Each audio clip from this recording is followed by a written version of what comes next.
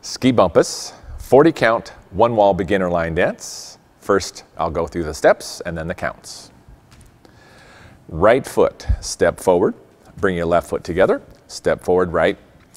Now the left foot, step forward, right foot together, forward, left.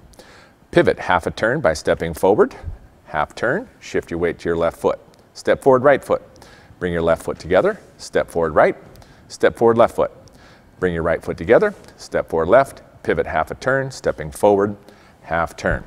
Jazz box, cross your right foot over, step back, step side, come together, right foot cross, back, side, together. Toe points, point right, step together, point left, step together, point right, step together, point left, step together.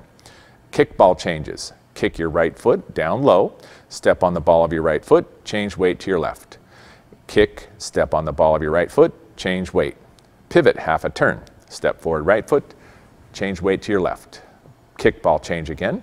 Kick, step on the ball of your foot, change weight to your left. Kick your right foot, step on the ball of your right, and change weight to your left. One more pivot, step on your right foot forward, half a pivot, change your weight to your left, you're ready to start over again. So now with the counts. Shuffle forward right.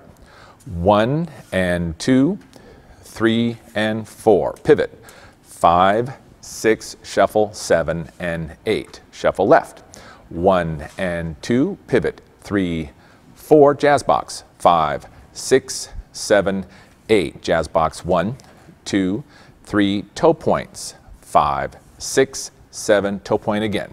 One, two, kick ball changes. Five and six, seven and eight. Pivot turn. One, two, three, kickball change, five and six, pivot turn, seven, eight.